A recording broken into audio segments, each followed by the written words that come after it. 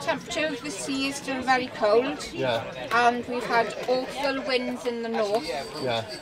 Um, it's just been constant for months on end. Yeah, yeah, yeah. So this is the first tidy weather we've had for months. Yeah.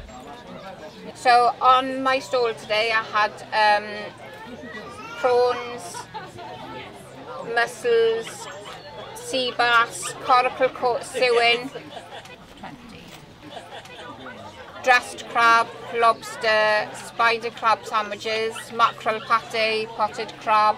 I think everybody has changed the way that we're shopping and we're buying fresh local uh, produce of anything. Uh, I prepped it all yesterday, so it came in on Sunday. I did everything Monday and sold it on Tuesday. So how fresh is that? Well, you can't get any fresher, can you?